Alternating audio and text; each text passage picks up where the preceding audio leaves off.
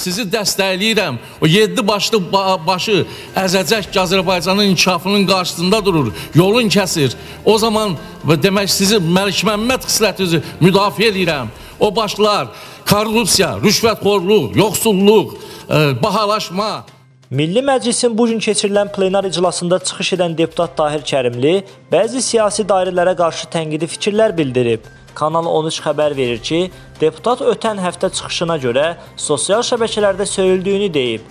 Bildirib ki, sosial şəbəkələrdəki söyüşlərə məəttəl qalıb. Bilmirəm əvvəldən bu qədər söyüş var idi yoxsa indi çoxalıb. Bu qədər söyüş olar. Bu həmin xalq deyilmi ki, prezidentin bir çağırışı ilə 50 min nəfər müharibədə könüllü iştirak etmək üçün yazıldı. Bizim yaltaqlığa nə ehtiyacımız var ki? Övladımız özümüz üçün nə istəyirik? Deyirlər Tahir Kərimli deyib ki, prezidentin alternativi yoxdur.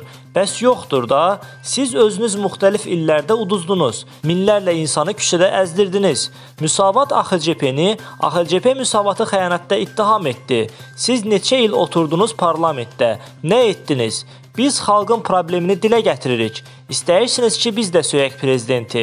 Bunu görməyəcəksiniz. İstəyirsiniz ki, siz iqtidara yaxın olanda biz də yaxın olaq. Siz uzaq olanda uzaq olaq. Yalan vədlərlə xalqı aldatmayın deyə millət vəkili əlavə edib.